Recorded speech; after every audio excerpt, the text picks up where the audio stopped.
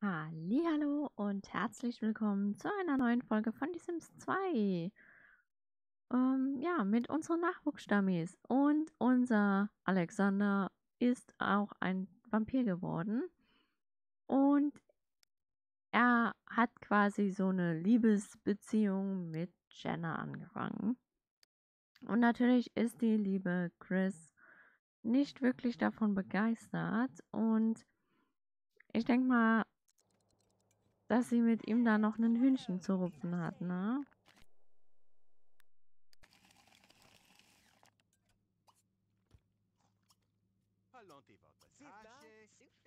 Du kannst dich ja einfach mal dazusetzen, wenn du magst.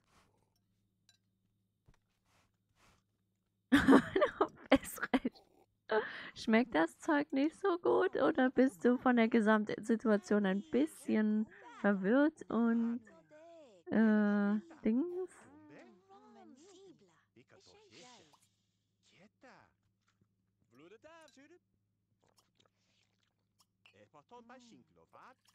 Ich denke mal, da wird es auch noch einen Streit geben zwischen den Lieben.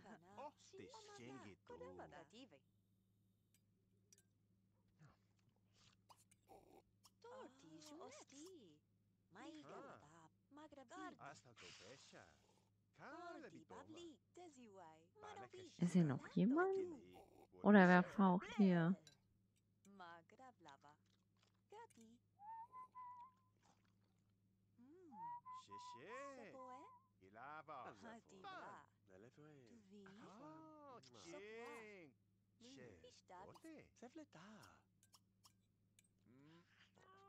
Ich denke mal, sie wird keine Rücksicht, Rücksicht nehmen. Wobei, die sind halt schon gut befreundet miteinander.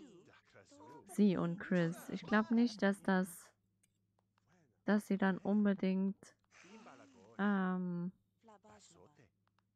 ähm, da stunk machen will. Ne? Da soll sich der Alexander ruhig drum kümmern. Ich hoffe, du machst keinen Mist hier, ne? Ah, der wollte ja den, die Tür beanspruchen.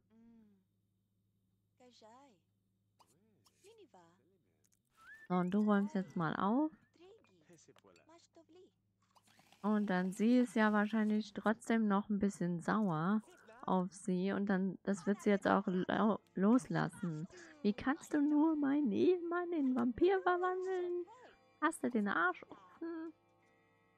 Und dann können wir ja noch ein bisschen tratschen. Also so an sich unterhalten.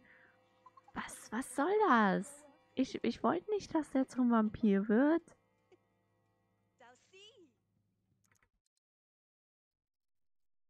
Äh, nein, du schläfst hier nicht. Seit wann haben wir denn solche...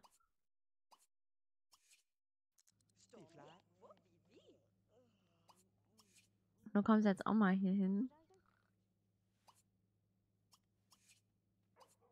So, das gibt jetzt noch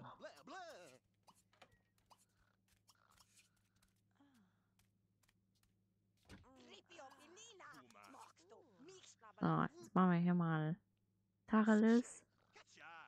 Wir haben schon so oft darüber geredet, dass ich ein Vampir sein will. Aber ich habe da, da, da, ich habe dir doch schon erzählt, dass ich das nicht will. Bla bla bla. Der ganze Schmarrn halt eben.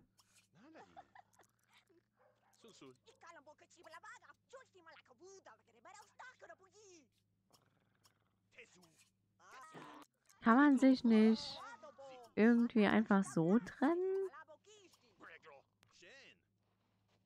Man muss sich so lange streiten, bis sie keine Gefühle füreinander haben. Ähm, du gehst am besten in deinen Sarg.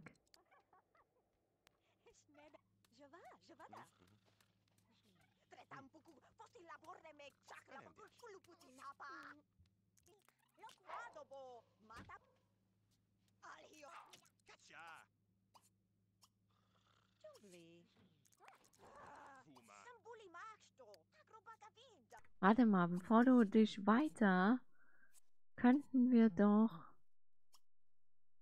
Kann man ihn denn, weiß nicht, überreden zu irgendwas? Den Hals beißen möchte ich nicht.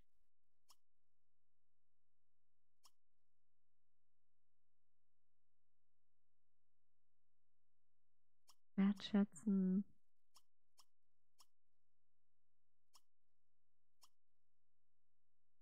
Ich denke mal, sie wird da einfach jetzt hart durchdingsen. Und ähm, ich mache das jetzt einfach so, auch wenn...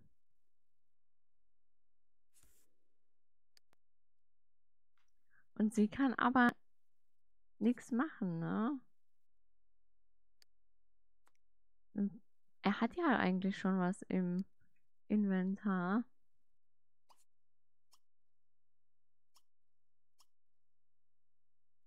Bewundern.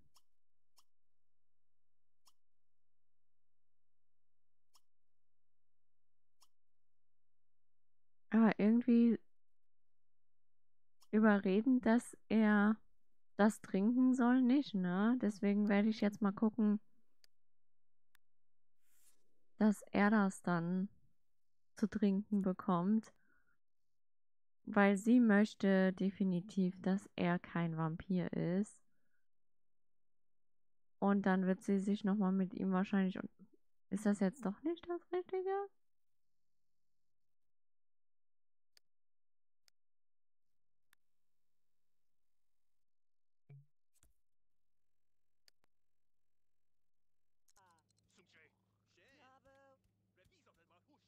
Ah, das muss auf dem Boden liegen, oder was? Wie un...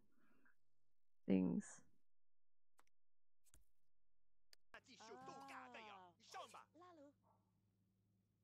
So, aber dann... Ich möchte das nicht und jetzt wirst du dich wieder zurückfahren. Ich weiß nicht, wie sie es hingekriegt hat, dass sie ähm, ihn überreden konnte. Aber vielleicht hat er ja auch selber nachgedacht. Ja, ähm,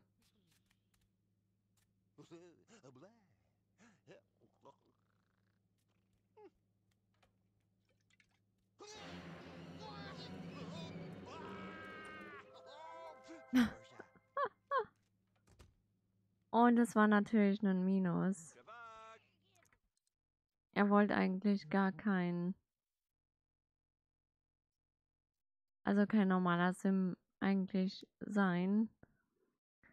Aber nun ist er wieder ein normaler. Ich denke mal, das wird trotzdem kein Problem sein für für ähm, unsere Jenna, weil sie liebt ihn ja. Und dann, ähm, okay. Dann denke ich mal, wird sich unsere Chris auch von ihm scheiden lassen.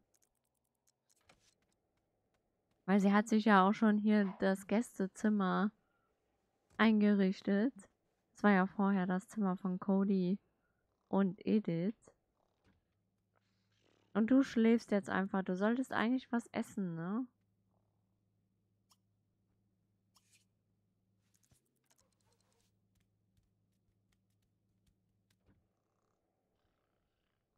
Weiß noch nicht, ob Jenna dann auch sagt, ey, wenn er kein normaler. Oder sie verwandelt ihn halt nochmal. Das, das geht ja auch, ne? Wenn die sich tatsächlich für ein Leben als Vampire entscheiden. Aber sie hat halt auch den Heilungswunsch, ne?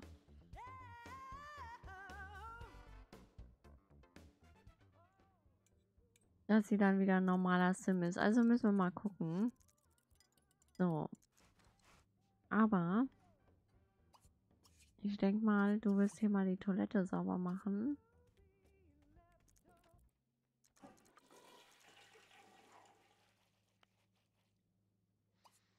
Und dann kannst du dich mal hier entspannen. Und du entspannst dich hier mal auch. Weil ihr beide, ihr seid ja auch hier im Haushalt und ihr habt auch das Recht, ähm, eine Geschichte zu haben. Also, dass ihr nicht einfach hier so rumläuft lauft und ähm, nicht ähm, wisst, was ihr eigentlich so treiben sollt. Jetzt wird wahrscheinlich der Pablo immer so sagen, ey, wie sieht's aus mit so einem bisschen Nachwuchs oder so? Hättest du darauf Lust? Eigentlich ist es ja, man hat keine Lust ein Kind zu machen, sondern du bist dir sicher, dass du mit dem Menschen, mit dem du da zusammen bist und den du geheiratet hast, den du liebst, ähm, hast du dich entschieden, ähm, Kinder zu haben, weißt? Nicht so aus einer Laune heraus, ja, weißt du was? Ja, so ein Kind, mhm, ja. Dann haben wir nicht mehr so viel Langeweile. Das eher nicht, sondern eher tatsächlich, ja, ich möchte mit diesem Sim ein Kind haben. Und ich denke mal, das werden wir jetzt auch in die Wege leiten. Und dann mal schauen, ob das Ganze funktioniert, ne?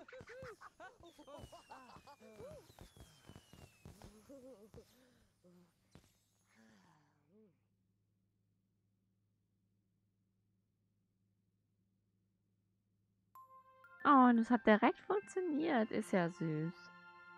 Ist ja richtig knuffig, ne?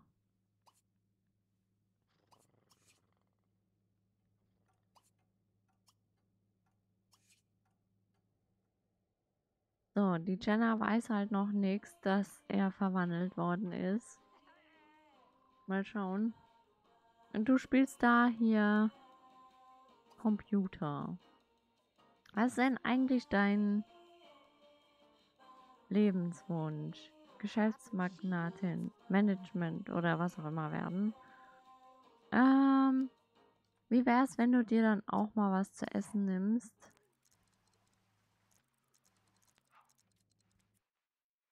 Vielleicht was von Omas Supersuppe.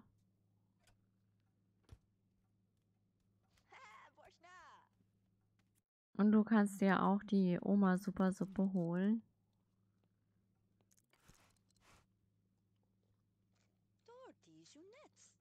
Und dann können wir uns ja auch mal mit ihr unterhalten. Vielleicht zuprosten darauf, dass sie es geschafft hat, dass der Alexander doch wieder zur Vernunft gekommen ist. Obwohl sie gar nicht sicher gehen kann, dass er nicht doch sich nochmal verwandeln lässt, ne?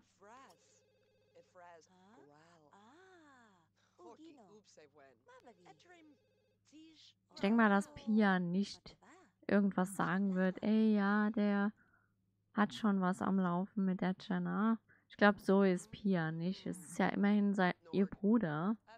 Ich glaube nicht, dass sie ihn in die Pfanne haut. Da soll er ruhig selber dann Mann genug sein und dazu stehen, welche Gefühle und ja, was er eigentlich möchte, ne? Das soll er dann selber machen. Ach ja.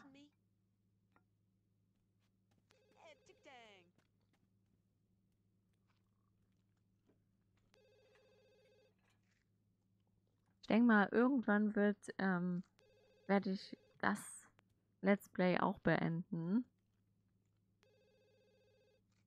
Aber ein Happy End wäre halt schon schön, ne? Und halt auch so. Ich meine, das Kind werden wir ja auch noch mitkriegen von den beiden, von Pablo und, und Pia. Und was mit Jenna und Alexander wird. Und dann habe ich aber vor, irgendwie mal was anderes zu machen, was nichts mit den Stammis zu tun hat, sondern was ganz Neues. Und da habe ich mir auch schon überlegt gehabt, dass ich ähm, mir die Tiergeschichten, die Lebensgeschichten und die, ähm, was gibt es noch? Inselgeschichten, genau. Es gibt ja diese drei Sims-Spiele. Und das ist ja quasi Sims 2. Ähm, und das würde ich gerne dann auch mal spielen und Let's Playen. Und dann mal schauen, was dann mit Sims 2, was ich da, was mir da, da noch so einfällt, was ich dann hier wieder machen kann.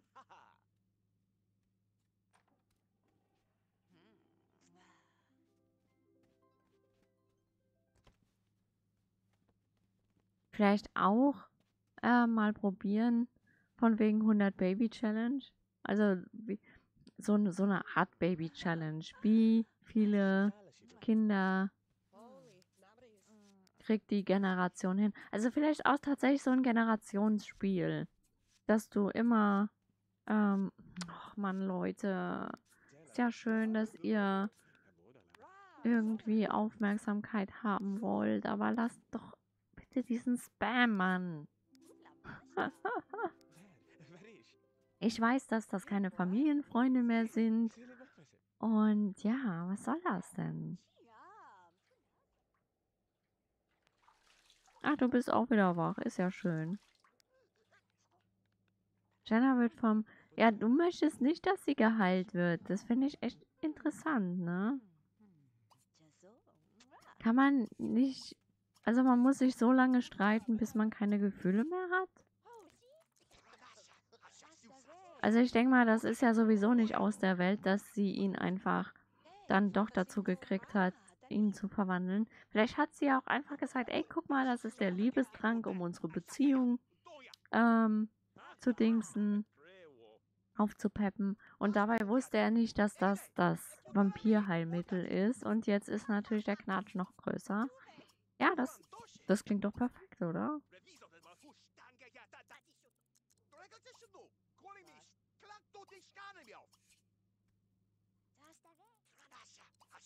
Mein Gott, wie lange denn noch?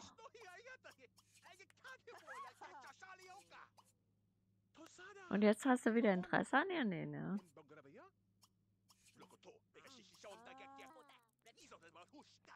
So, bla bla bla.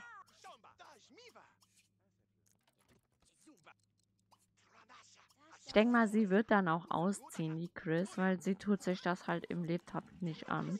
Also wenn er tatsächlich dann sich nochmal beißen lässt und dann wieder Vampir ist, dann wird sie sagen, ey, komm, mach deinen Scheiß selber, du wirst schon sehen, was du davon hast. So, kann man sich jetzt irgendwie scheiden lassen? Nee, ne? Ich mag nicht, dass die sich so sehr hassen. Hä? Wie kriege ich die denn jetzt, dass sie sich... Ach, sie hat ja auch noch Gefühle, ne?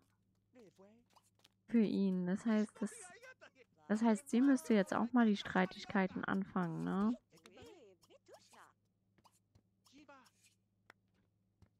Und dann musst du noch vorher was essen, bevor du dann noch ganz komplett verhungerst, ne?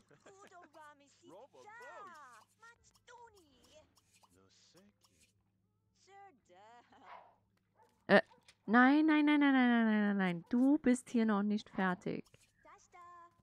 Du bist hier noch nicht fertig.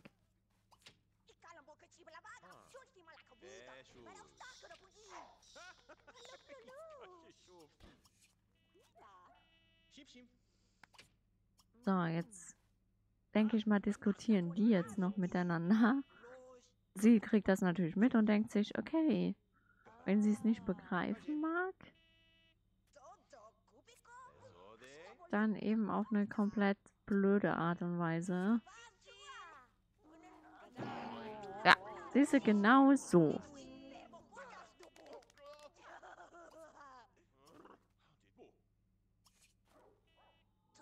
Und dann ist das so ein Hin und Her.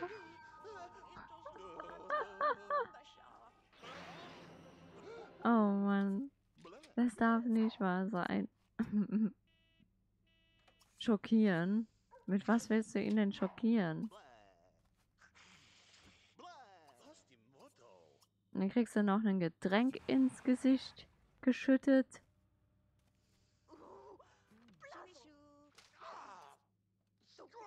Und dann trennen wir uns. so und so. Und ja, wird das jetzt mal hier vonstatten gehen? Sie hat da keinen Bock mehr drauf. Sie hat schon alles im Prinzip versucht. Sie hat es ja auch geschafft, dass er sich verwandelt. Aber das hilft ja anscheinend nicht.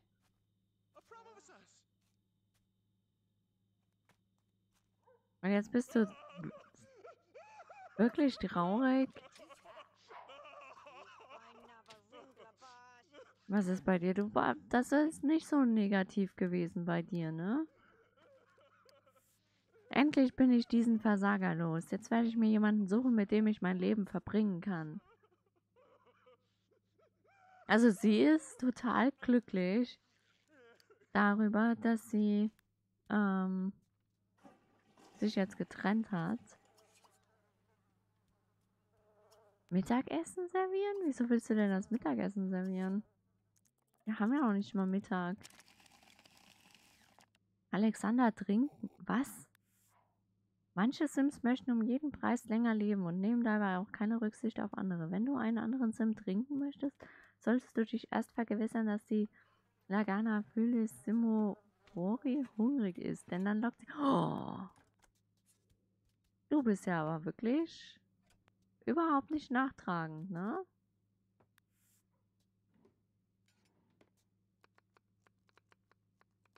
Ah. Also, ja. Das muss ja wohl nicht sein.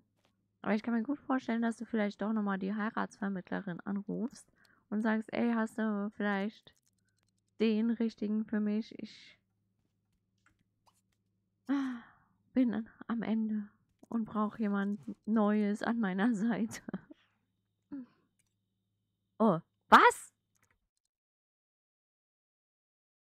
Wo ist denn jetzt der Alexander hin? Wieso ist der jetzt weg? Hä? Was geht denn bei dem jetzt? Wieso ist der weg? Wieso bist du... Hallo?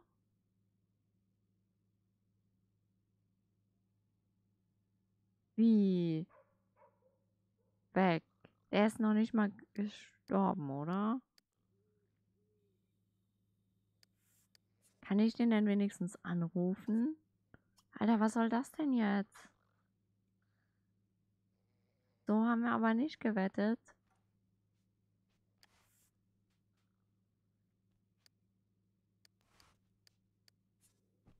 Hä? Sowas geht aber jetzt gar nicht, ne? Also das akzeptiere ich nicht, dass der jetzt weg ist. Ich bin mal gespannt, ne? Naja, gut. Ähm, für die Folge ist aber jetzt Schluss. Und dann werden wir mal sehen, wie es in der nächsten weitergeht. Ob der Alexander, ob ich den wiederkriege? Ist er jetzt einfach abgehauen? Ich habe den doch nur zur Arbeit geschickt. Okay, gut. Das sehen wir in der nächsten Folge. Bleibt gesund, habt Spaß und bis zum nächsten Mal. Tschüss.